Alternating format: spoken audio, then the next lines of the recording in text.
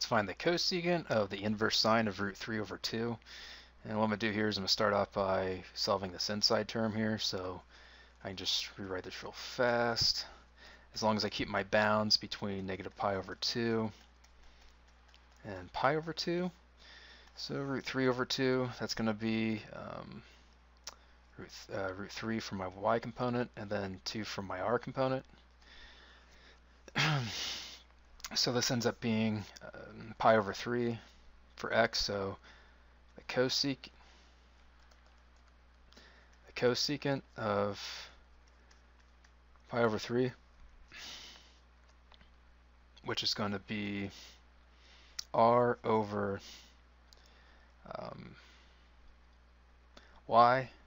So in this case, it's going to be 2 over root 3.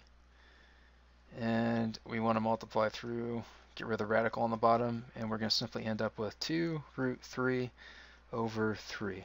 That's it. That's our solution.